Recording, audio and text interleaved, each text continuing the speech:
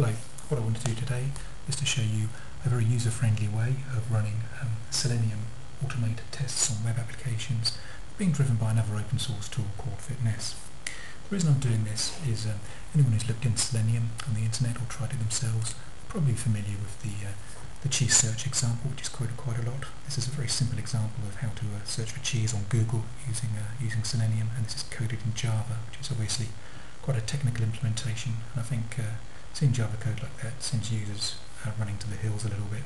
So just looking for a, a slightly simpler method for, for users to read. And I think using this method is, as stated up here, I think it's user-friendly, it's maintainable, it's easily editable and rapidly expandable.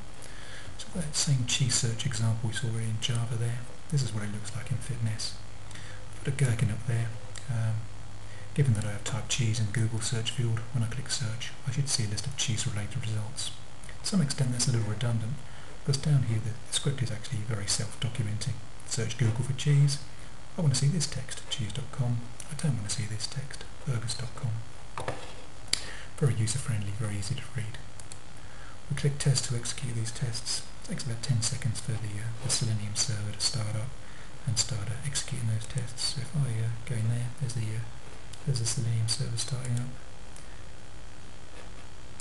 and there's Google and uh, it's busily typing away uh, fields there and capturing the results. So now when we go back here what we'll see is um, we see we've got five tests passed, none have failed and for each step in the test um, it shows that it's turned green to show the user that the test passed uh, and gives them a real good comfort factor. I'll show you what's going on behind the scenes here basically we've got a, a gherkin written in plain text at the top there and then we've just got a list of variable definitions.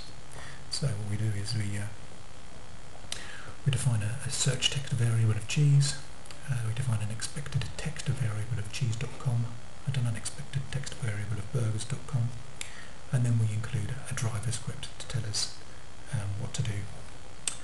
I'll show you what that driver script looks like. Again, written in there, very much the same easy to understand language. Uh, so we're searching Google for a variable um, and then we're searching for um, some other variables further on in the script and those, are, those variables are defined in the executable scripts we've just seen. The secret behind all this is that in the, uh, the actual guts of it are written in the scenario library. So we, uh, we call very user-friendly scenario names and then the implementation is done behind the scenes. So the search Google for scenario is actually doing this behind the scenes. It's telling Selenium to open this web page, google.co.uk. It's telling Selenium to type uh, this variable, search string, into a field that's got a name of Q. It's telling Selenium to click a button with a name of BTNG and wait for the results to be present. And then we've got a similar scenario implementation of checking the uh, presence of the text later on. I just want to show you how quick it is now to expand those test suite subs. I'm going to go back to my test suite. I'm going to copy copy my cheese search test. Make sure I've got make sure I've got that. And I'm going to add another test, add child, and I'm going to call this test beef search. What I'm going to do edit that, just paste my text in for my cheese search and edit it for my new variable. So this time I'm going to search for beef. I definitely want to see beef in my list of results. Something I definitely don't want to see in my list of results is horse meat.